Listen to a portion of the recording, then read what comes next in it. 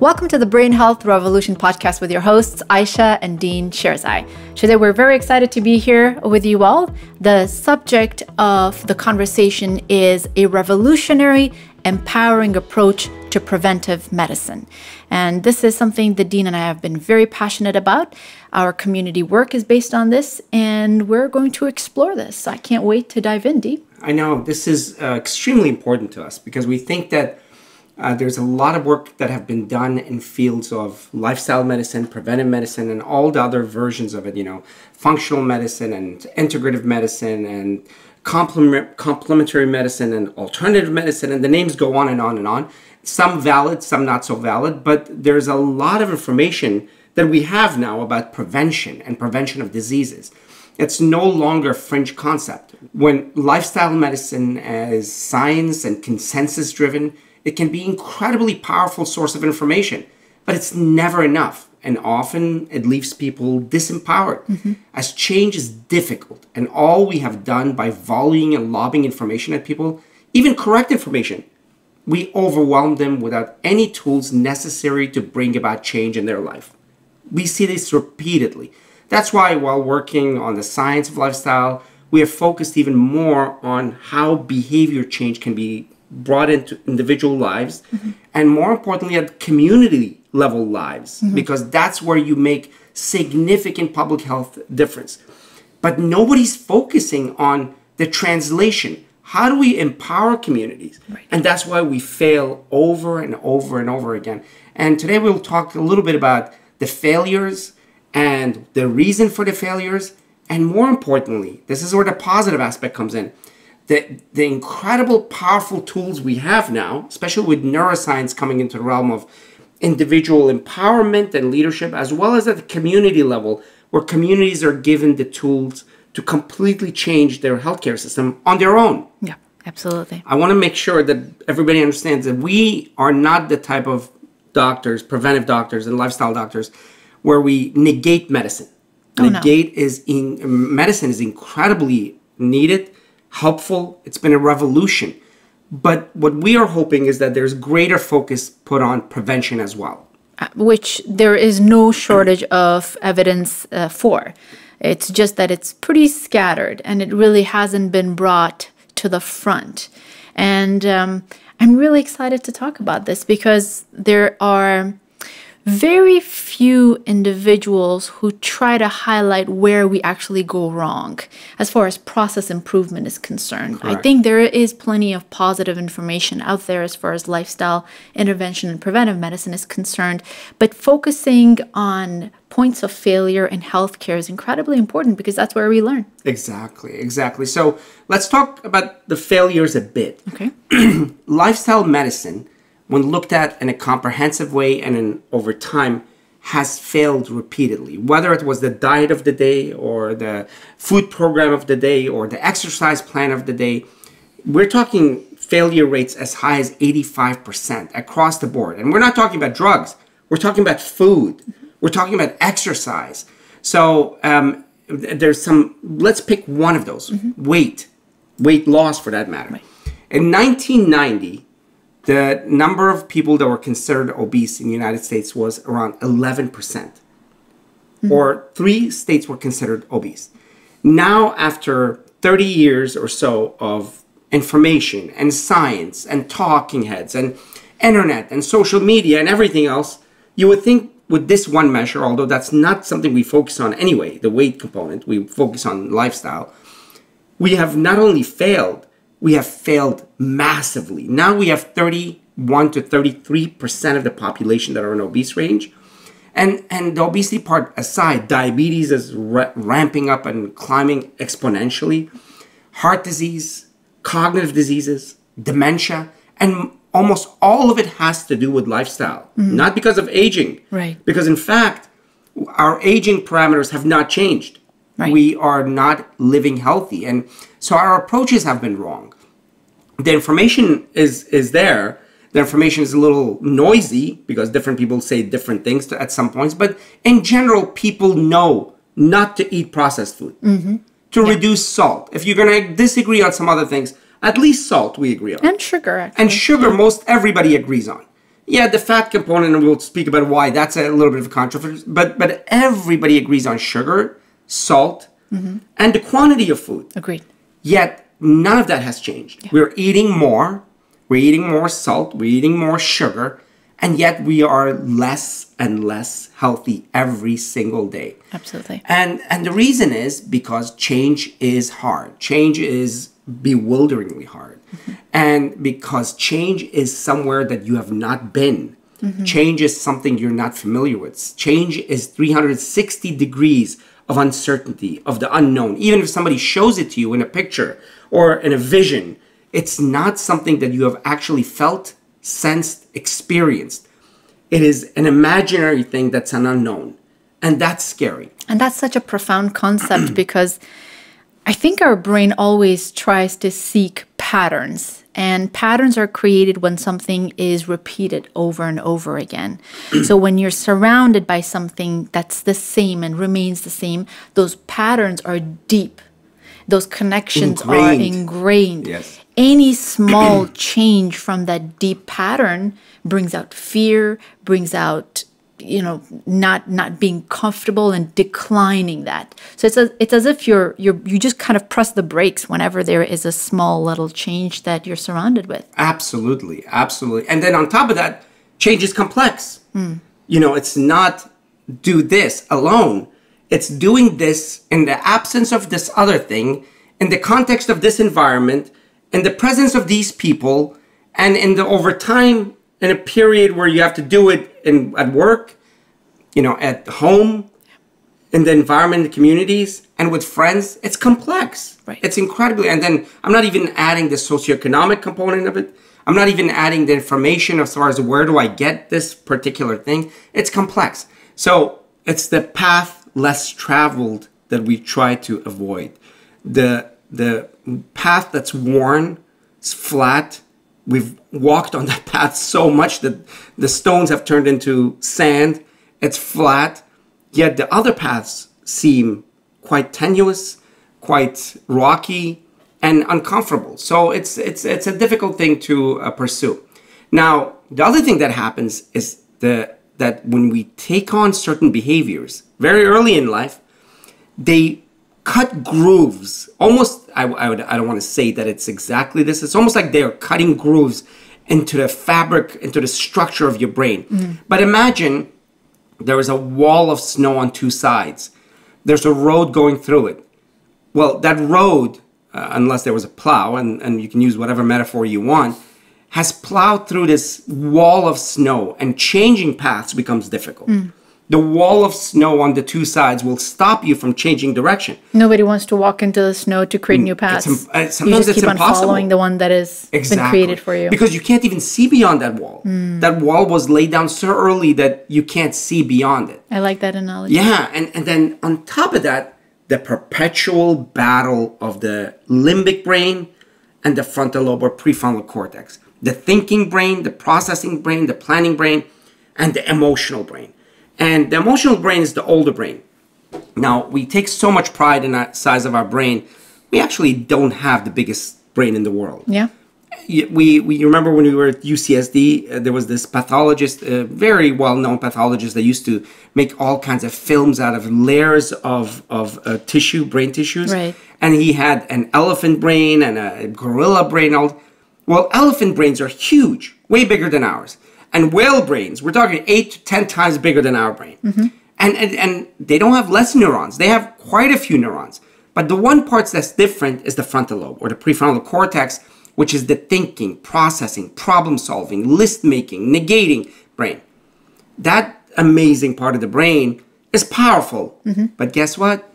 It's not as powerful as, as the old, ingrained, uh, you know, Paleolithic. The only par- place where Paleolithic fits in is here.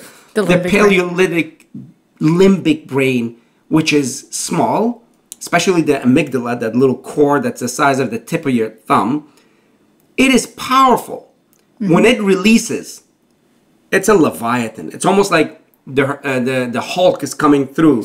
Bruce Banner, is it? Yeah, Yes. it's coming through, and and that you don't, and you can control it by knowing what are the triggers and what to do. But it's powerful. So Right. this battle that I described, it's a little scary. I don't want to overwhelm you. I don't want you to think that's not, surm- uh, you know, it's unsurmountable. It's not.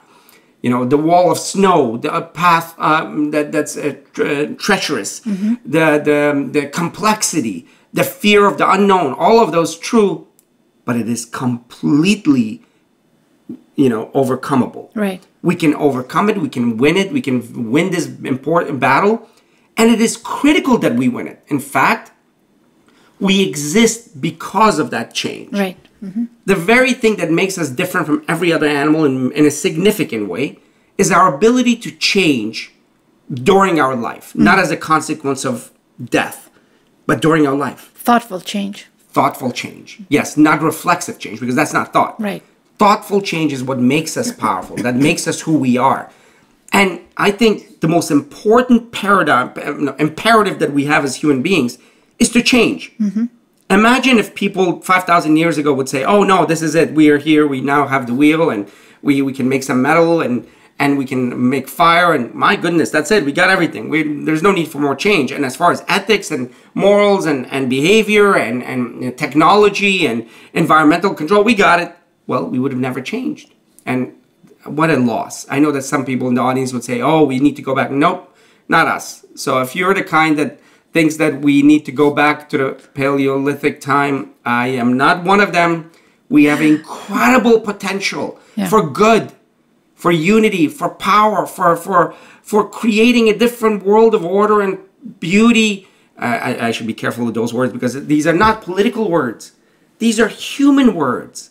These are words that are going to give us humans, in fact, whatever your perspective, that's the power that we've been given to bring about change. Right. So change is ours to have, but first we have to take the battle in a very systematic way.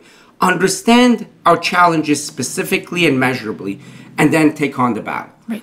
Now, there are a couple of things, a few things that I want to talk about because these terms are, you and I who've dealt with this on a day to day basis uh, when we were doing research at U- uh, NIH or UCSD, these were the words that we worked with, and we, we actually worked with them at the human level. Yet well, these see- are the things that we're trained in. You know, Trained being in, a neurologist exactly. and a scientist, you actually, you know, talk about the anatomy of the different parts of the brain and how it functions. And so I know you're you're actually referring to neurobabble, and these are terminologies that are used by just you know random people just to you know make people feel like they understand something about neuroscience and they're used erroneously mostly so i'm glad that you actually chose to explore this Yeah, and they're used even by some neuroscientists to separate themselves. Actually, then it turns out to be highlighting them as far as their knowledge, but it's disempowering to everybody else. Right. Let's give the power back to the people. that sounds again weird, but it's not. It's it's it's empowerment. yes. It's empowerment. So some of those words are the limbic hypothalamic pituitary axis and Mm-hmm. the autonomic system.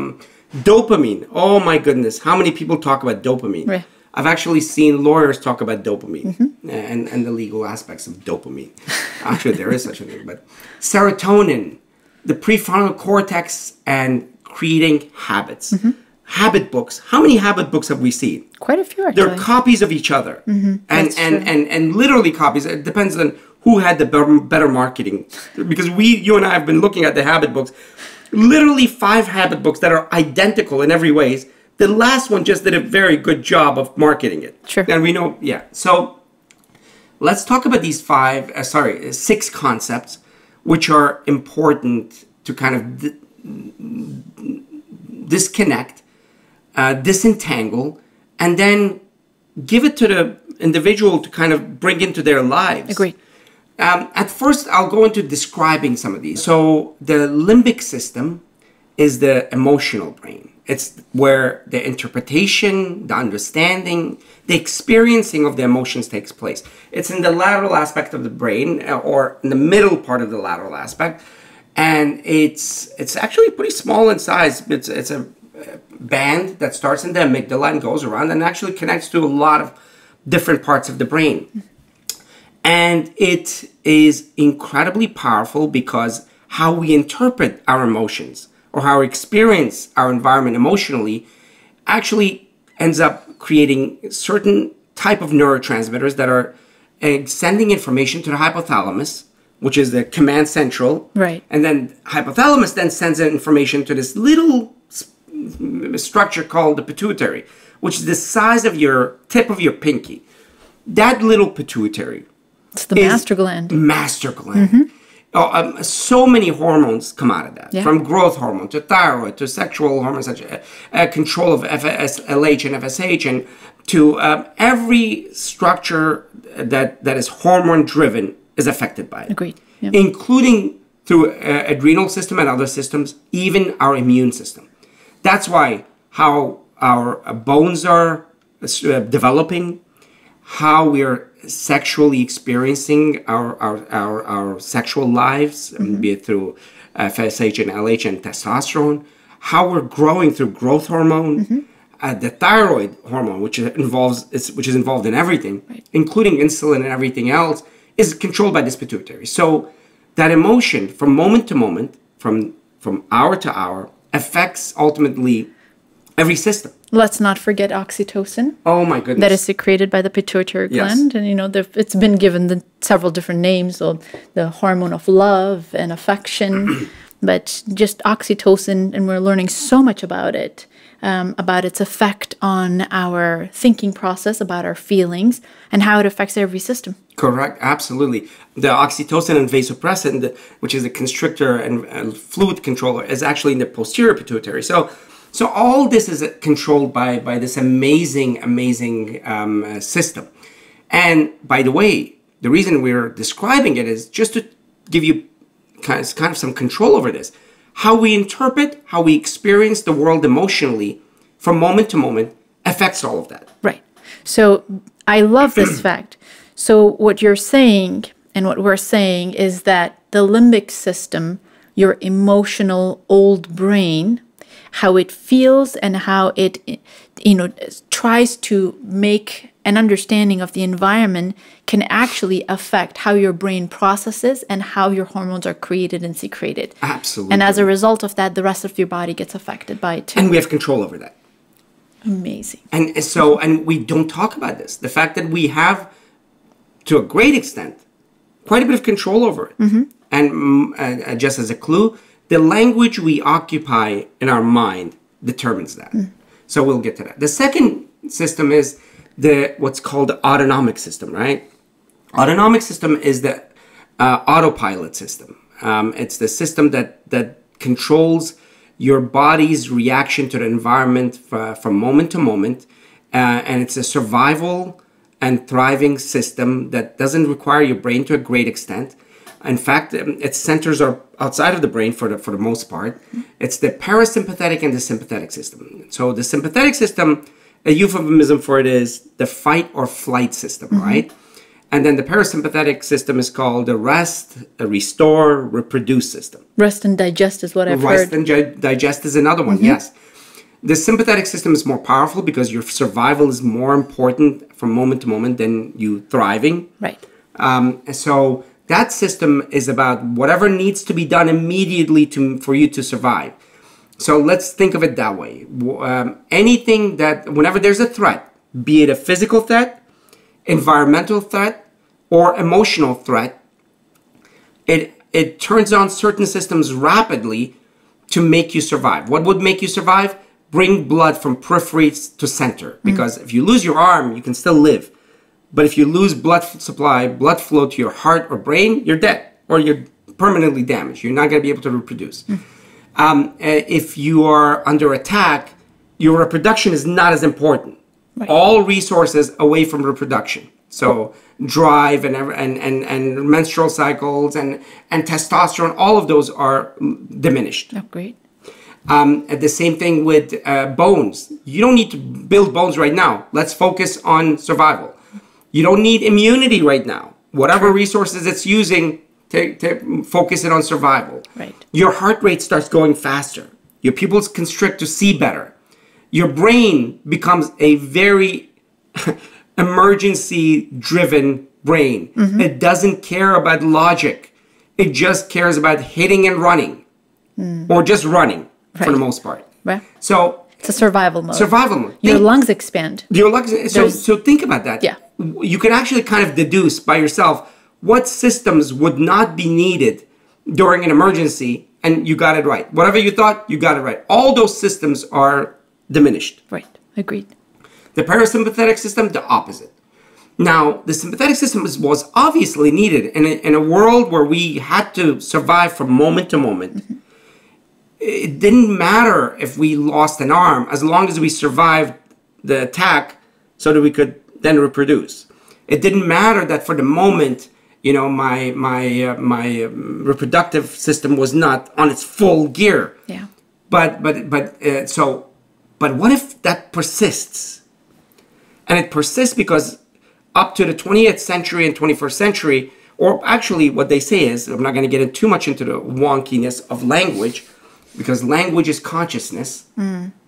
As our language developed further, we transferred all those stressors and started carrying it with us almost like a weight on our back, but it's actually in our language centers and, and our memories right. with our language. Mm-hmm. So when we we were able to understand things, create language, create stories, we actually carried stress with us. So now in the 21st century, we have stress with us constantly. Right. So that fight or flight system, if not in full blown mode, it is in a simmering mode throughout. I, I and if you have an anxiety state, even more so. We're seeing well, most of the chronic um, diseases that people are experiencing has a very heavy uh, footing in that chronic stress paradigm. It does. Where all of these unnecessary hormones that are sup- supposed to protect you under dire of the direst of conditions are continuously being activated yes. over and over again. So it's uh, we're experiencing more wear and tear due to these stressors than actual wear and tear that is associated with the process of living. Absolutely. I mean, for the last 20 years, my work, I'm a neurobehaviorist, has been on, on, on behavior.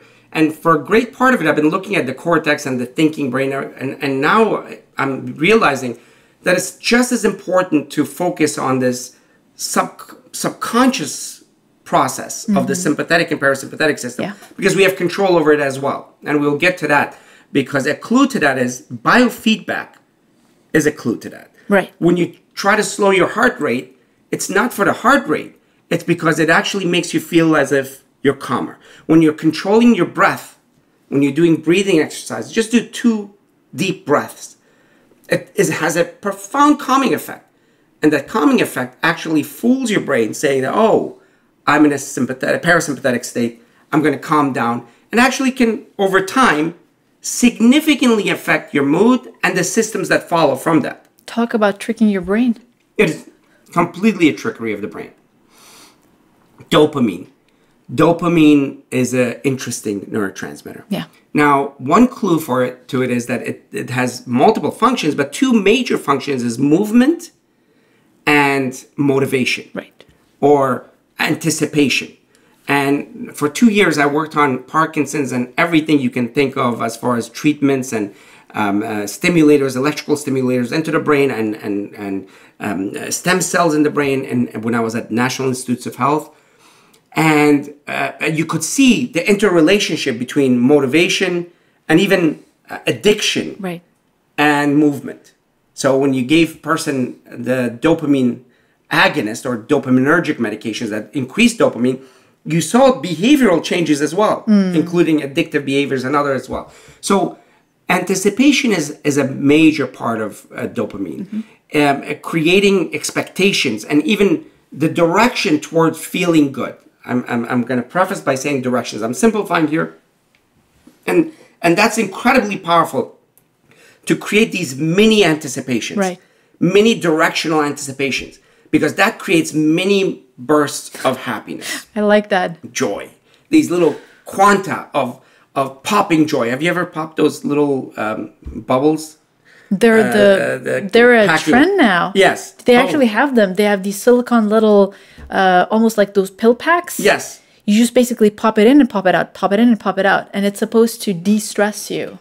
Well, I tell you, uh, they're everywhere. To some extent, it's true, but you you can't overstimulate the dopamine system as well. And there's a whole talk on that, that the fact that we're overstimulating the dopamine system and it's not losing it's losing its effect. I see. It's a closed system. You can't just continuously stimulate it. Right. So you have to manage you have to manage your dopamine process. Right. So so dopamine is that. And there are other things that dopamine does: uh, learning, mood, lactation. Uh, it affect, it's involved in sleep and attention, and memory as well. But movement and anticipation and and feeling of reward and and things of that nature and motivation are are central to it. So um, then we have serotonin, another one. I mean, Yeah. uh, th- this people have become aware of serotonin um, for a few years now with the, all these drugs like Prozac and Zoloft and all these, which are what they call SSRI, serotonin reuptake inhibitors, Selective uh, serotonin selective reuptake. serotonin reuptake Yeah. inhibitors. Um, and what ha- happens is that it increases the amount of serotonin Yeah.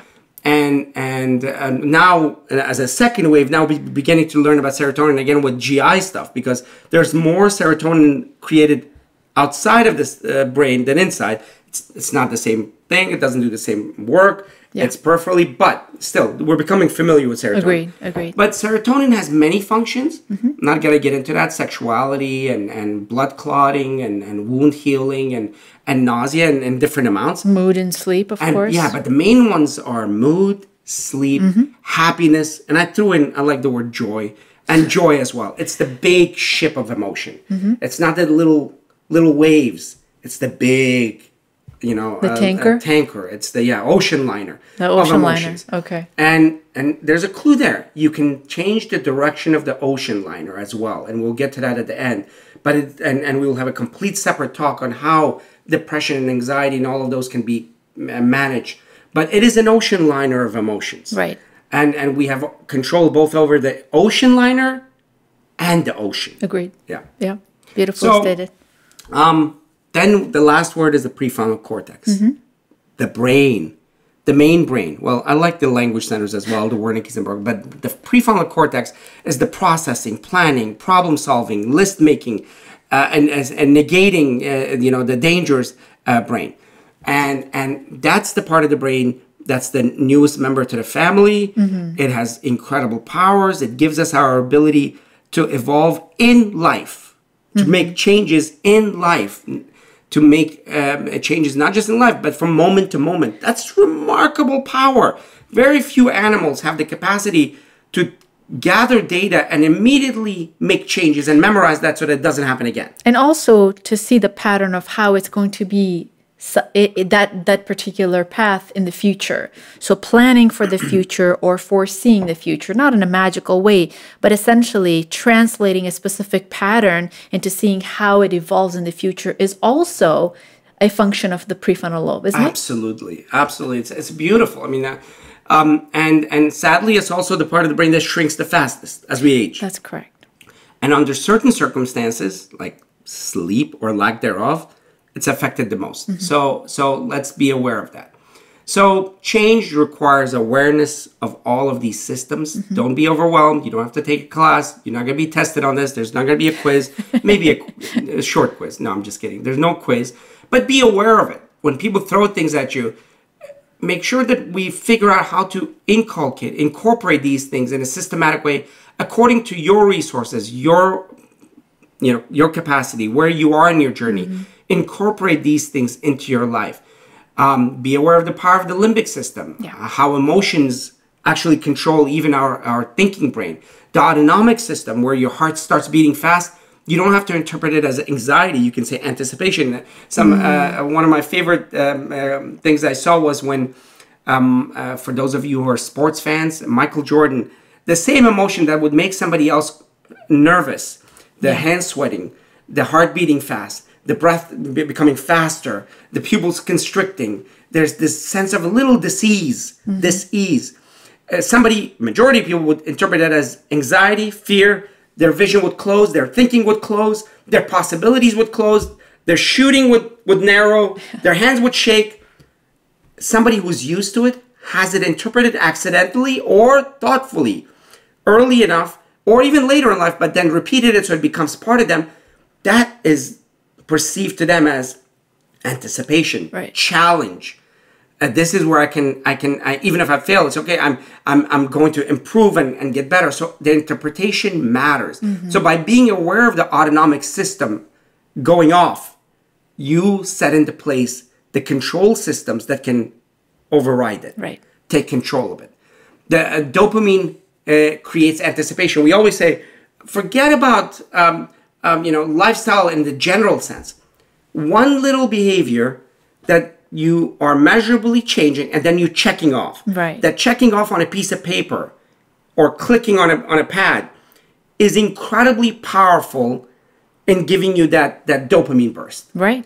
and and the effect of all these little bursts these little waves these tugboats of dopamine and, and directional action changing the ocean and the ocean liner of serotonin which is the long-term emotions long-term anxiety long-term depression long-term mood long-term joy power empowerment whatever you want to call it mamba mentality for those who are into the uh, uh, sports vernacular.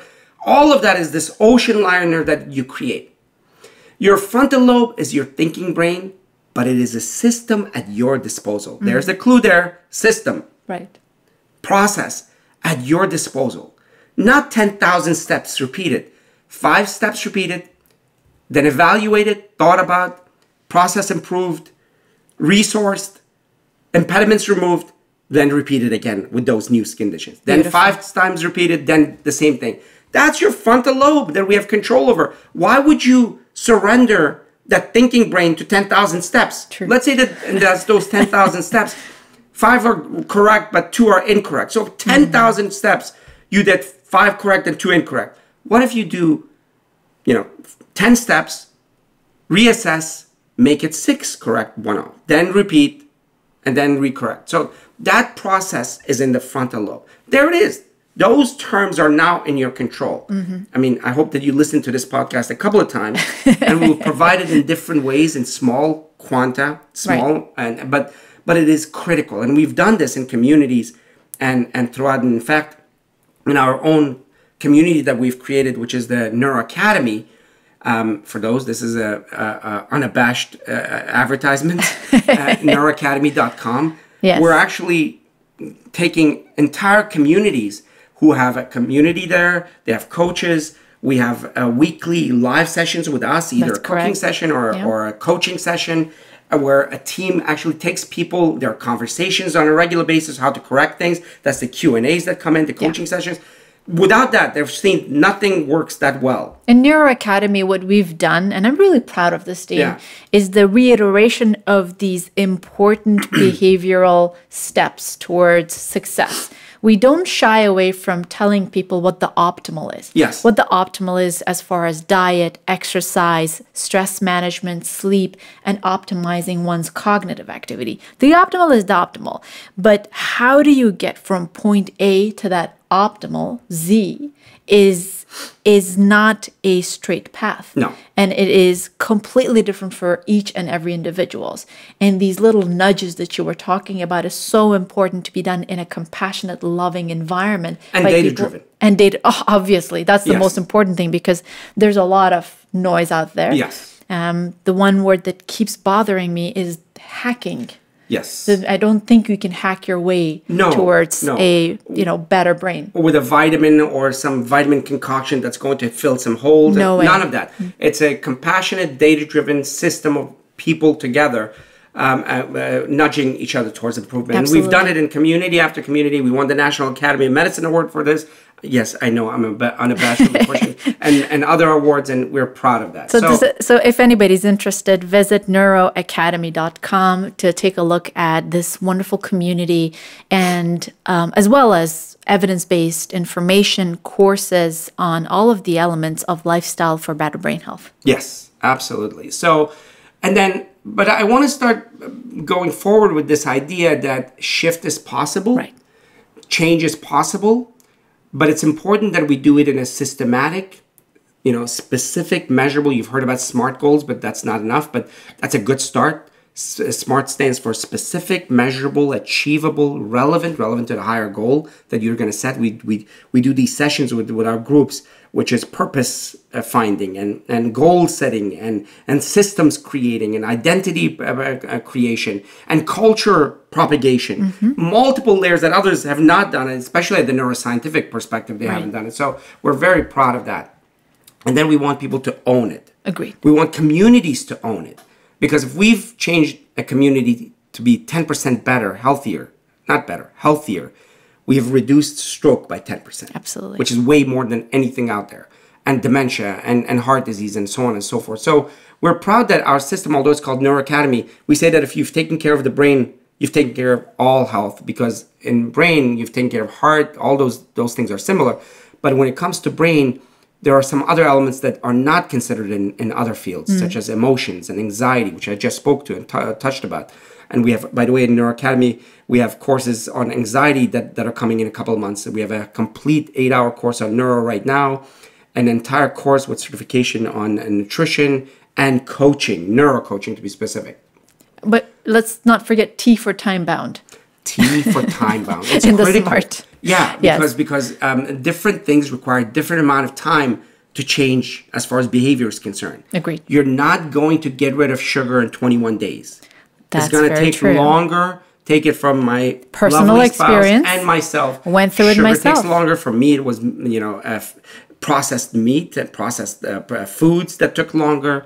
And the the ho hos, I had to find an alternative. I always found those disgusting. I never had them. We're, well, I'm not a big. All right, I'm not fan. a, I'm not judging You, a little but- bit of judgment. That's great. no, I feel judged. No, I'm just kidding. It's it, it they are disgusting in retrospect because Right. once you change your taste, right.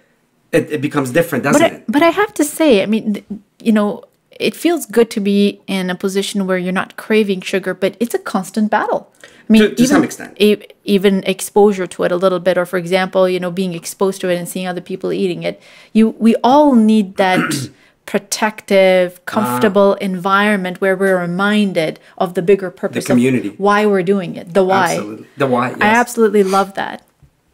So let's get back to the point of what makes us most human. To change is to be human. Beautiful. We're not the fastest organism, so you know we're not the one that can jump the highest. Uh, we're not the strongest. We're not the hairiest, although sometimes, um, yeah, That's a good thing. that's a good thing. Yeah, uh, we're not um, in any way. We're not superior. Um, it's not even a bad matter of superiority. We're not um, uh, very uniquely different from other animals in that. But one thing that we're different in is our frontal lobe and our brain, our empathic brain. Empathy comes from the thinking brain Right. and our processing, problem solving, planning brain. Mm-hmm. Those are what, what makes us human, and the two are give us the ability to change. Mm-hmm.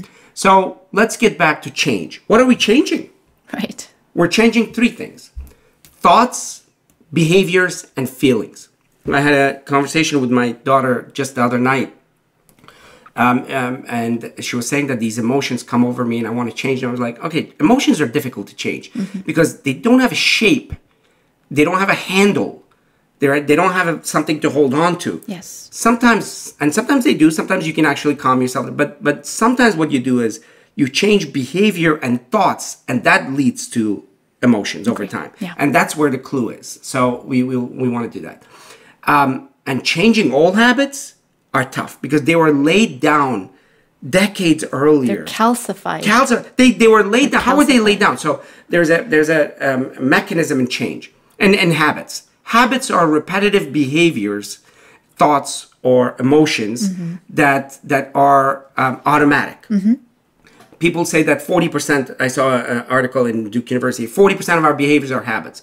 Others say 60. I say 90 or more is habits. Hmm. Even our thoughts and political thoughts are habits. We don't think about them. There are macro programs for computer geeks out there, macro programs that are laid down, and as soon as you come to this topic, that macro program comes on. As soon as this topic, as soon as this feeling, this thought, these emotions come on in, in an automatic way. So these and so how were they created in the first place? Stimulus or trigger, behavior, response, or reward. Mm-hmm. So there had to be rewarded some way. Yeah. It was rewarded either by food, or that's where the dysfunctional eating comes in. Mm. rewarded by by praise, rewarded by physical things, or rewarded most often by that powerful sympathetic system, Right. fight or flight. We were threatened emotionally, psychologically, physically. We did a behavior that was not the most functional behavior. We ran away, ran away, or punched back, or hit back. I- I've never punched back, but let's say we pushed back, Yeah. uh, or yelled back, or did a curse that felt so viscerally good. Yeah. Yeah. But did it do anything to truly change the behavior, of the environment, the situation? No. It just pushed the situation back. Right. That was the reward. yeah. The the stimulus of the fight or flight was lowered. The sympathetic drive was lowered because their threat was averted, but it was averted in a dysfunctional way. Yeah. It was never done in a way where actually that behavior in the middle was functional toward the higher outcome of life, growth, personality. I, I tell my kids every time you solve a problem with your sibling or us or somebody, you're not just solving the problem functionally for that moment, mm. you're laying down the habit pathway. You remember those walls of snow? You're creating new pathways of snow, but now not dysfunctionally, but through willing, willing it into something meaningful, purposeful, and connected to higher purposes How beautiful. that's the whole point Yeah. of creating habits positively and systematically. As it happens, bad habits are laid down and then they're linked to each other. Yes. Because one bad habit of smoking is connected to a habit of drinking, and then the habit of that is to a stress. And whenever there is stress, we eat the you know bad food. Right. And then because you can't be uh, uh, you, those bad habits require bad friends that love the bad habits. Then you get other bad friends, or not bad friends, but friends who have bad habits who add on further habits. Agreed. Yes. So habits are usually connected to each other. Yes. Good habits with good habits, and bad habits with bad habits.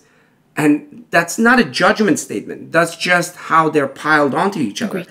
One set of habits are driven by sympathetic uh, um, drives being um, quenched and calmed down.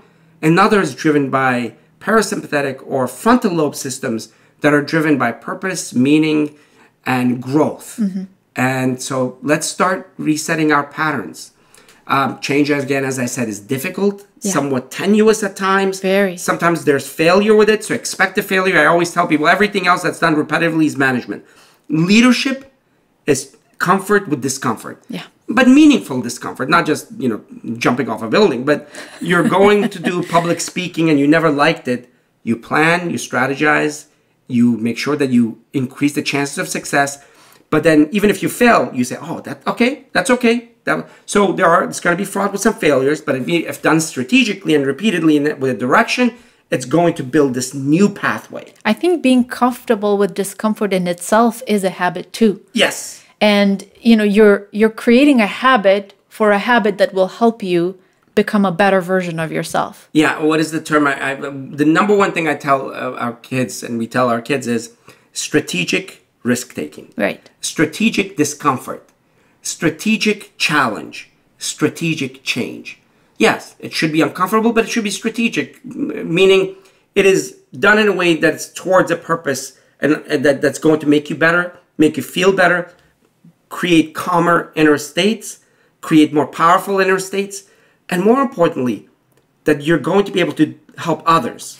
And and, and Uh, service is everything for us. I'm getting excited because, well, this is a digression, and hopefully we'll have a conversation about that. But how important it is that we tell our children that it's okay to fail, and actually creating very comfortable environments for them to fail Yes. indeed so that they could experience that and be okay with it and make more mistakes because that will be one of the most powerful things they will carry with them as adults if they're not taking chances to change, strategic chances, not unnecessary, unsafe ones, if they're not taking strategic uh, with some safety in mind, uh, but with the idea of failure in it, there's no change. Agreed. And look at the disadvantage a person is left with compared to somebody else who's comfortable with change on a daily basis, minute by minute basis, versus somebody who's scared. And by the way, there are a huge percentage of population is so counter change. oh absolutely They have created language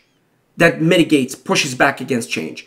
And that creates this patterns of anxiety that build on anxiety and build on anxiety. So it is critical that we tell our kids how to fail well. Yes. How to fail well. So if you're ready, um, it requires a commitment. It requires data-driven approach, and hopefully we in our community and with us we do that as well. With uh, you, you're part of our family. It requires a little bit of a comprehensive approach. Blueberries are great, but by themselves they're not going to do anything. Oh, don't say that. Not, I mean, you can't love eat the fried chickens five times a day and then eat blueberries and think that's going to make a huge difference. Obviously. It's got to be comprehensive. There's got to be exercise in it. How many times we have hear people, oh, I eat well, by the way. Only 0.4% of Americans by American Heart Association standards eat well. So Which is not everybody that great Not anyway. great, yeah.